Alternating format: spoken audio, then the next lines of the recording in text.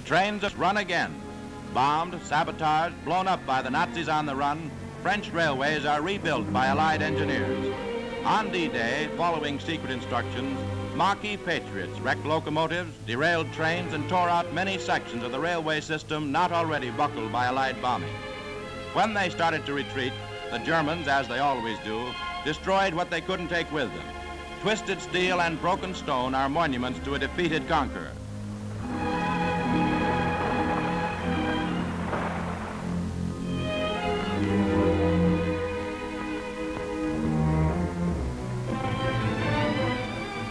Nazis burned their bridges behind them. Now, the French undo their own good work and help repair what the enemy laid waste. One by one, the rivers of France are crossed.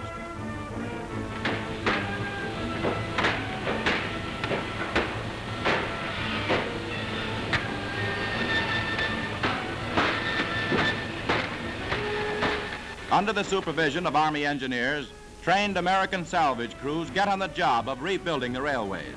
Working fast, these soldiers clear away the debris from dynamited bridges, swing new girders and supports into place.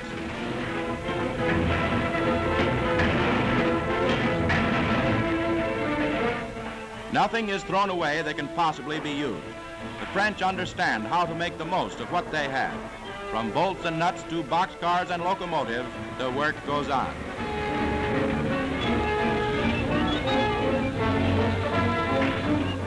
Brought from America, stored in England, and now shipped in this specially designed craft across the channel, these tank cars are ready to roll from the beachhead to the front. With them come locomotives to replace those the Nazis wrecked. Boxcar after boxcar, a supply train for the armies to the east. A salvage train follows, taking skilled repairmen further up the line. Each of these railway ties serves to bring supplies two feet closer to the front. Foot by foot, mile by mile, the ruined railways are restored.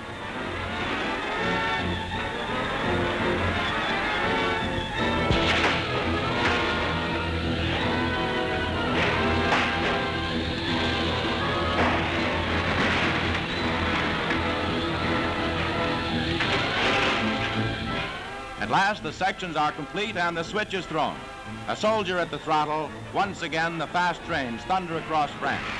More trains a day than the Germans ever ran.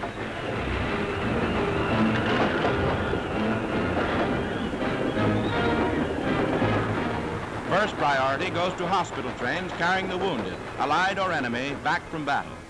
Night and day, these iron arteries of an army throb with life. Gas and oil for the tanks on the battlefront. Together, Frenchmen and Americans have done the job.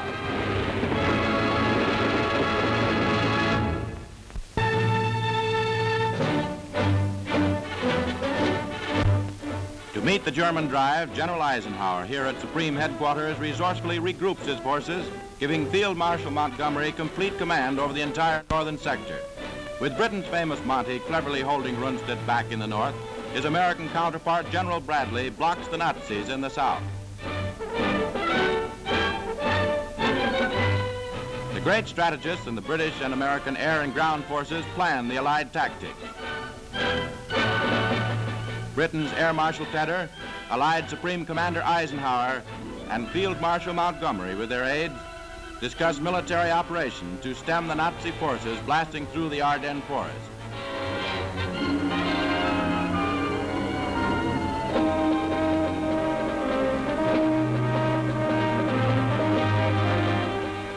On their great thrust into Belgium, the Reich hoped to reverse the Allied drive into Germany.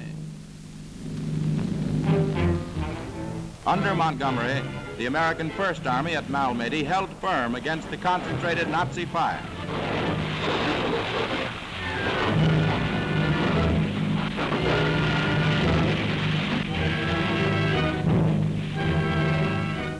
Malmedy is rubble and ruin, but the Allied lines are intact.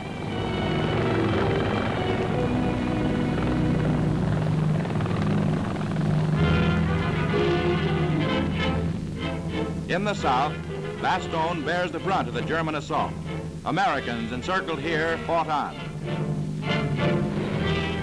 Rescue planes rush aid to the trapped men. In Bastogne, the artillery crews had at one time barely enough ammunition for 10 minutes firing.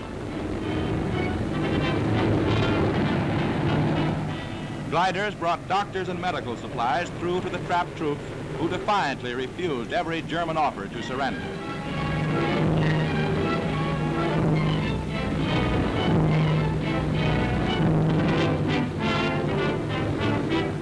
From the Dakotas fall more supplies to the men who held out for seven desperate days.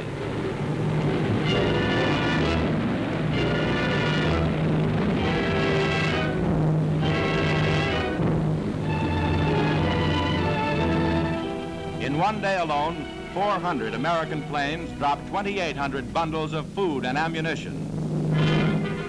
Along the roads from the south, trucks rush more men and supplies.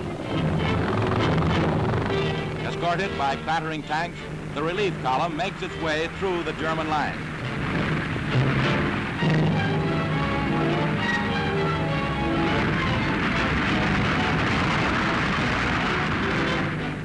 Up ahead in this frozen landscape lies Bastogne, and a corridor must be cut through Nazi fire.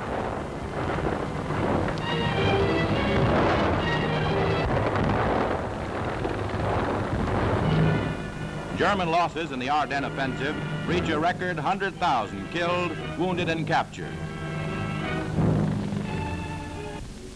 Nazi prisoners alone for all of 1944 total a million and three quarters on all European fronts. Hundreds of German tanks are destroyed.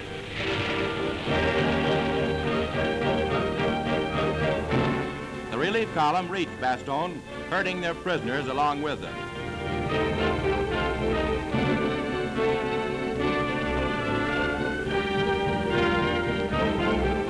General McAuliffe is congratulated on his defense of the city by General Taylor, who, in America, when the offensive started, flew the Atlantic to join his besieged men. The men of Bastogne laughed once again. These men held the hinge of the line at Bastogne. They checked the impact and turned the tide of the Nazi assault. Once again, Hitler's timetable miscarried on the Western Front.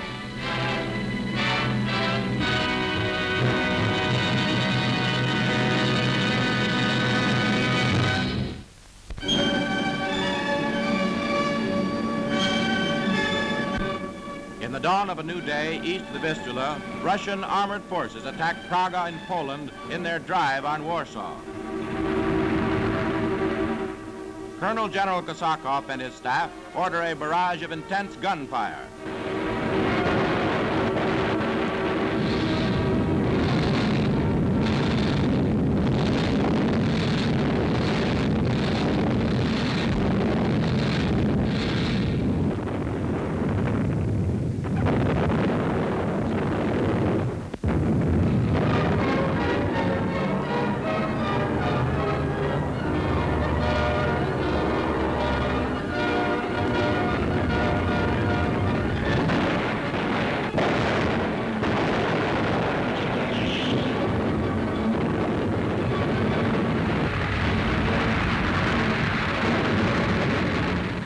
Now the infantry move into battle.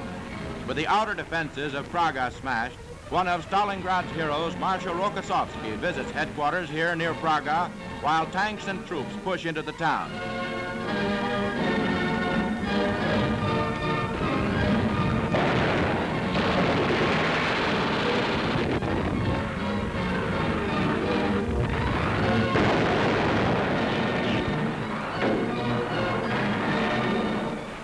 Polish regiments fighting with the Russians march ahead of the army through Praga's streets and receive a warm welcome.